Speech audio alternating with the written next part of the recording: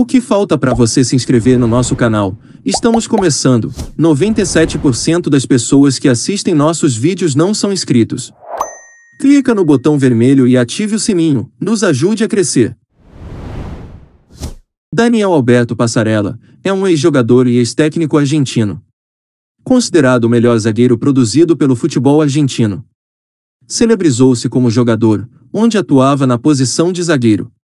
Apesar da estatura considerada baixa para a posição, 1,76 metros, sabia cobrir a defesa de suas equipes devido à sua grande impulsão.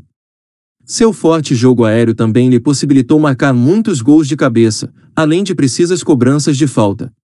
É o segundo zagueiro que mais fez gols na história, está atrás apenas de Ronald Koeman, tendo marcado 22 pela Argentina, 99 pelo River Plate e 35 no duro futebol italiano. Passarela também era veloz, cobrava faltas muito bem, era ótimo no desarme e realizava lançamentos longos precisos para contra-ataques.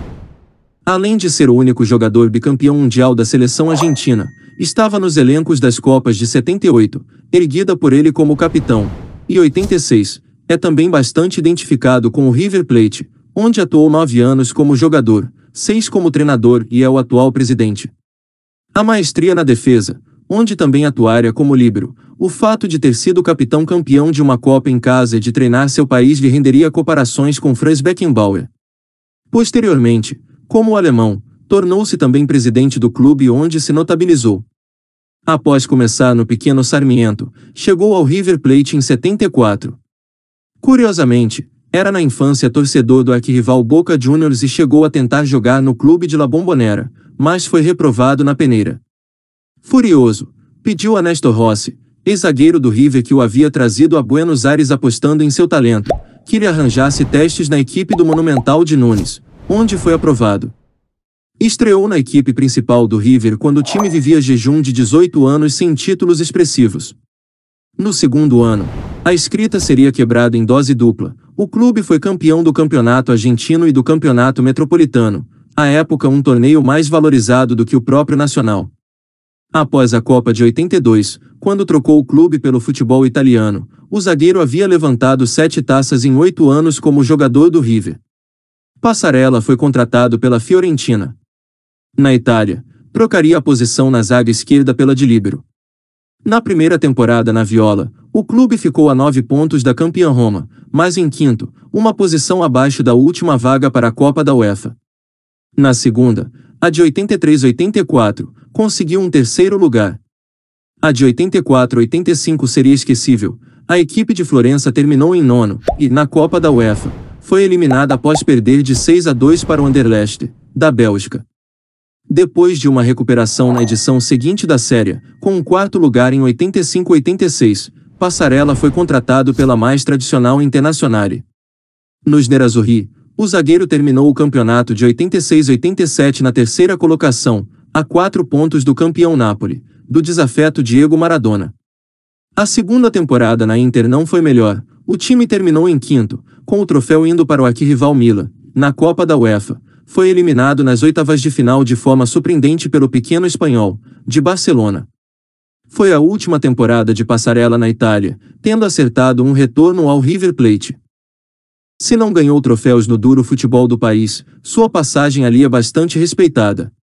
Ironicamente, a Inter de Milão conseguiria o título italiano na primeira temporada sem o líbero. Passarella estreou pela Argentina em 74, em seu primeiro ano no River Plate. Tornou-se capitão e o primeiro argentino a levantar a Copa do Mundo, após o país, anfitrião, sagrar-se vencedor, ainda que polemicamente, da edição de 78. Marcou um gol na campanha, na primeira fase, convertendo um pênalti contra a França.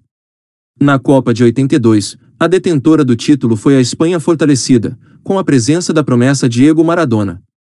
Passarella foi um dos poucos do elenco albiceleste que se salvaram no Mundial, marcou duas vezes, em outro pênalti na primeira fase, contra El Salvador, e no final da partida contra a Itália, na segunda fase de grupos.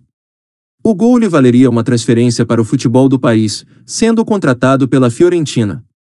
Foi também na Copa de 82 que começaram suas desavenças com Maradona. Contra o Brasil, lesionou Zico em violenta e desnecessária falta.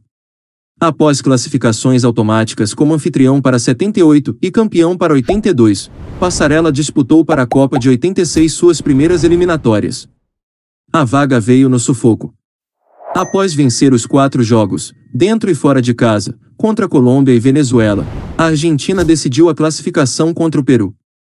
Ainda que derrotados em Lima, os argentinos necessitavam de apenas um empate em Buenos Aires para se garantirem no México. A Argentina abriu o marcador, mas os peruanos, que já haviam desclassificado o país em Buenos Aires da Copa de 70, viraram para 2 a 1. A eliminação estava vindo até os 36 minutos do segundo tempo, em que Passarela foi herói, pegou a bola ainda no campo de defesa e puxou o ataque, avançando para a grande área após tabelar com Enzo Trocero. O defensor chutou, a bola passou entre as mãos do goleiro Eusébio Acasuso e bateu na trave, sobrando livre de rebote para Ricardo Gareca concluir para as redes e classificar a Argentina. Apesar de sua atuação decisiva, Passarela acabaria não sendo utilizado pelo técnico Carlos Bilardo na Copa, em razão da rixa com Maradona, que não queria sequer a convocação do desafeto. Único remanescente do elenco campeão de 78, Passarela foi, ainda que na reserva em 86, o único jogador presente nos dois títulos mundiais da Argentina. E para finalizar esse breve resumo sobre um dos melhores zagueiros da história da Argentina, seguem algumas de suas conquistas individuais. Seleção de todos os tempos pela IFES. Seleção argentina de todos os tempos. Seleção da América do Sul de todos os tempos. E foi isso, galera. Não se esqueça de se inscrever no canal e deixar o seu like que para ajudar nosso trabalho. Ajude também compartilhando o vídeo com seus amigos e ative o sininho para receber notificação de novos vídeos.